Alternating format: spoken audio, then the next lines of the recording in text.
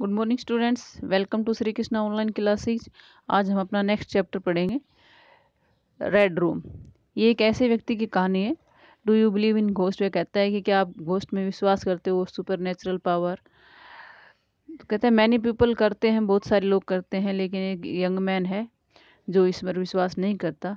तो वह एक ऐसे हॉन्टेड रूम में जाता है, उसके साथ कुछ घटता है तो वो घटना इस पाठ में दी गई है तो वह रूम है red room the red room I can assure you said I that it will be very difficult for me to be frightened कहता है, मैं तुम्हें पक्का विश्वास दिलाता हूँ कि मुझे डराना बहुत मुश्किल काम है। I do not believe in ghost मैं भूतों में विश्वास नहीं रखता।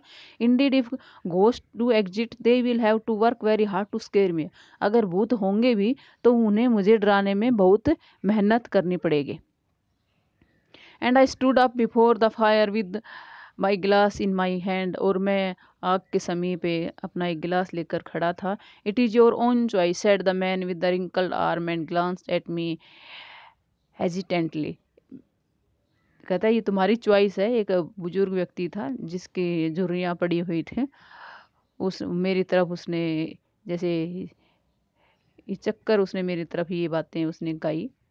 I am twenty eight years old and I have never seen a ghost in my life कहते हैं, मैं अट्ठाईस साल का हूँ, मैंने अपनी ज़िंदगी में कभी घोस्ट नहीं देखे। I simply do not believe in them said I मैं इस पर इस पर आसानी से विश्वास नहीं कर सकता इन बातों पर। The old woman at staring hard into the fire her pale eyes wide open एक बुज़ुर्ग औरत थी उसके साथ, जो आग को, आग की तरफ़ ऐसे घूर घूर कर देख रही थी, उसका चेहरा पी, आँखें पीली थी ऐसे फाड़ फाड़ कर जैसे देखते हैं, I see broke in with a mountain stones. वो जो उसने निरस्ता पूर्ण धीरे धीरे जैसे बोलते हैं बुज़ुर्ग व्यक्ति, इस तरह से उसने स्टोन में आवाज़ की, but in all those twenty years you have never seen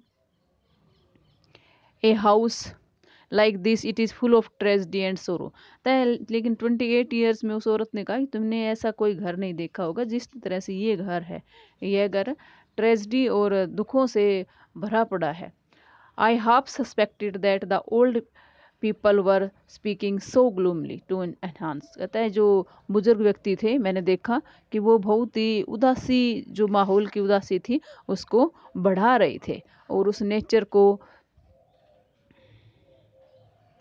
clear nature of the house that they had been looking after जो उस घर का जो माहौल था, वो अनूठा माहौल था, जो उन्होंने कभी देखा था। Well I said let's see if I meet the ghost उसने कहा, चलो, देखते हैं। अगर मैं गोस्ट से मिलता हूँ तो क्या होता है?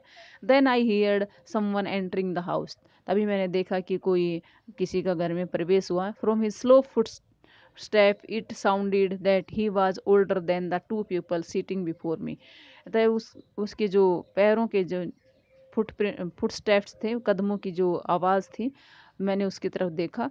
जो दो लोग मेरे पास बैठे हुए थे, वह उनसे भी अधिक बुज़ुर्ग था। True enough an old wrinkled man walked into the room with the help of a crutch बुज़ुर्ग व्यक्ति जिसके रिंकल पड़े हुए थे चेहरे के ऊपर, वह कमरे में आया, जो कि बैसाखियों के सहारे आया था। On one eye he wore patch एक आँख के ऊपर उसने कपड़ा बाँध रखा था। In fact all three old people themselves look like ghost हकीकत में जो तीनों व्यक्ति थे, वैसे दिखाई दे रहे थे जैसे वो तीनों ही घोस्ट हों।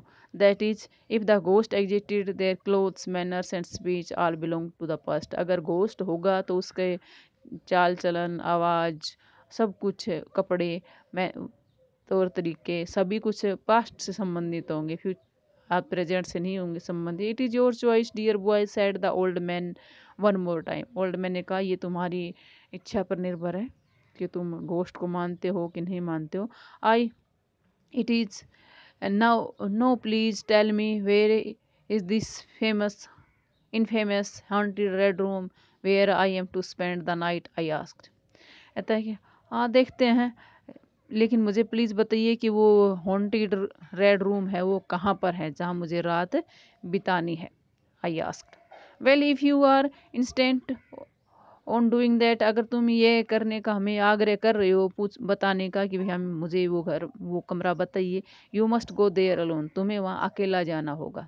We have never had the courage to go there हमारे पास इतना सांस नहीं है कि हम वहाँ पर जा सकें। There is a candle outside a वहाँ एक कैंडल रखी हुई है, light it to see the way और उससे आप अपना रास्ता है वो रेड रूम तक जाने का आप देख सकते हैं। Walk along the passage till you come across a spiral staircase आप उस रास्ते से जाओगे तो आप, सामने आपके पास घुमावदार सीढ़ियाँ हैं, वो आएँगी। Climb and then you will see a door ऊपर चढ़ जाना और उसके पास बाद आप एक दरवाज़ा देखोगे which is covered with green cloth जो दरवाज़ा ग्रीन क्लोथ से हरे रंग के कपड़े से ढका हुआ है। Enter the corridor through the door उस डोर के साथ आप कॉरिडोर में प्रवेश कर जाएँगे। The red room is the last one at the end of the corridor और जो रेड रूम है, वो उस बरामदे कॉरिडोर मीन्स बरामदा जो है, उसके लास्ट एंड पर है। Finish the old man old man ने अपनी बात ख़त्म करते हुए कहा I walk along the dark and shadow corridor to reach the red room मैं अंधेरे में उस रेड रूम तक, उस कॉरिडोर के साथ जो लग रहा था लास्ट में था, उस तक मैं पहुँचा। तो थैंक यू स्टूडेंट्स आज के लिए इतना है। कल हम इस चैप्टर का जो बाकी पार्ट बचा है, वो पढ़ाएँगे। Thank you